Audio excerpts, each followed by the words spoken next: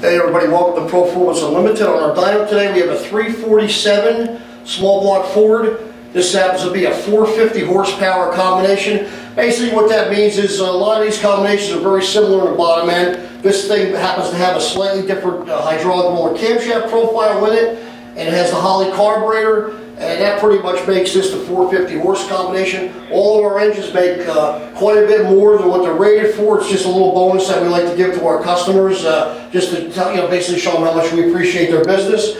Uh, this engine features a late model block that's all fully remachined and refurbished to our specs. Uh, it's got an Eagle rotating assembly inside.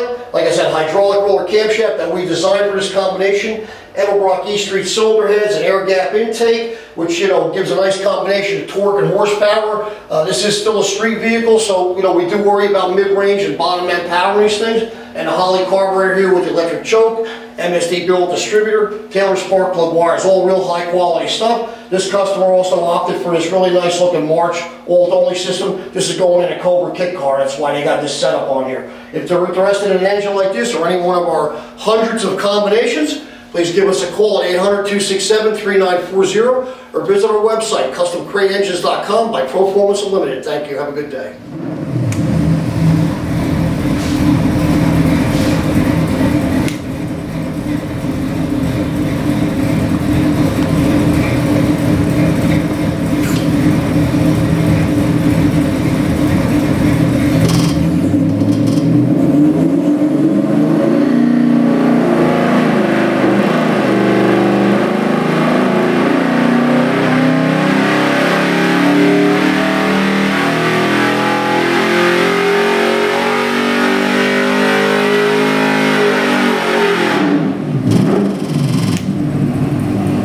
That's a pretty strong 450 horse, huh?